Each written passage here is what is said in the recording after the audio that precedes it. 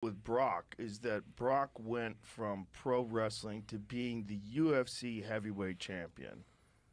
I mean, and did so with such a short amount of time of training in MMA. I mean, obviously, he had a, a spectacular amateur wrestling career. He was a legit top flight amateur wrestler and a fucking genetic freak. Mm-hmm. A- All those things.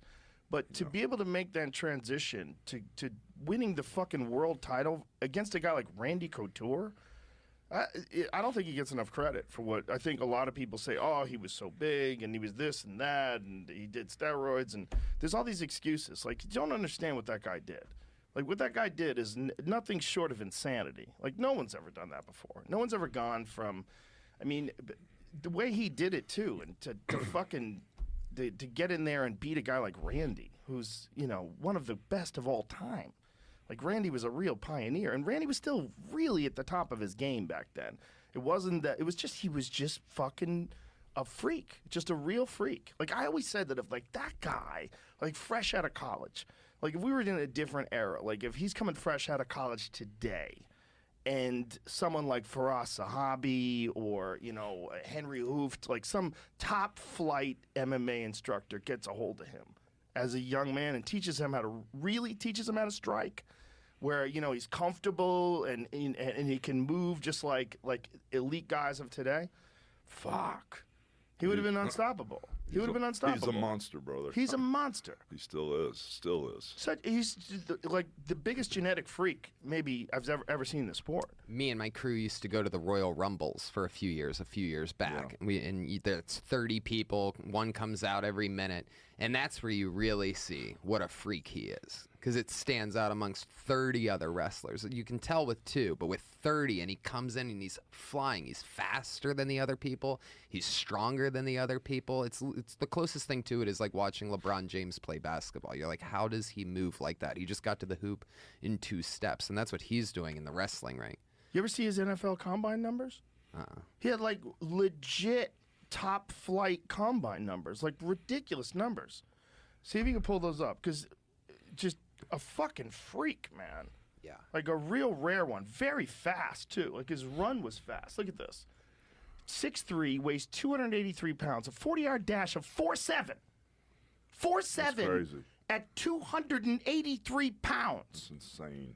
Jump 35 inches vertically and 10 feet from the standing long jump. 10 feet. He's hurling 10. He's hurling almost 300 pounds. 10 feet. He can bench 225 pounds for 30 reps. 225 for 30 fucking reps, That's crazy. dude. Oh, look, it's me, astounded. I've been astounded multiple times by that guy. That's He- th- there's a few guys that I say He like can still go, brother. Yeah, I'm He sure he can still. Go. Well, there was talk about him fighting again in the UFC just fairly recently, like a few years ago. You know, I mean, I'm sure in the back of his head, he still wants to stomp some people. You know, He's intense, brother. I mean, I've, last time I was around him, I was in Saudi Arabia with him. You know, he's real intense. You know, he hasn't changed a bit. I mean, the guy went from he goes and fights Frank Mir, who's a former UFC heavyweight champion. You know, like uh, right into the top of the food chain, gets leg locked, comes back and beats Frank Mir in the rematch. Just beats the shit out of him. I mean, he was a real he was the real deal, man. And a lot of people don't give him enough credit. And then he then there was the problem with the diverticulitis, so he had to get a, a long section of his intestine removed, I believe. Yeah. Believe it was in, his intestine. Well, he eats everything that he hunts. That's the deal. Yeah. You know, so he's always out hunting stuff. I don't know where, how you get diverticulitis. Um, Anthony Bourdain told me it's a real mystery because you could actually get it from a seed. Like a seed gets get stuck. He goes, it's not just like people say, oh, he ate too much meat. That, that's not necessarily the case. He said there's a lot of things that could have happened. But either way, so he has that, and then he comes back and fights Alistair during the Juicy Juice days when Alistair was on everything known to man.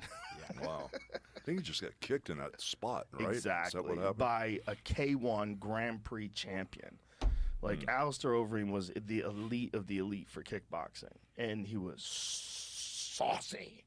I mean, he came in saucy. There was no USADA back then, so you just had to pass a test on the day of the weigh-ins, oh, which is like an IQ test. Yeah. And then just using all these masking agents and shit. There's like, you know, it's it's a different world back then.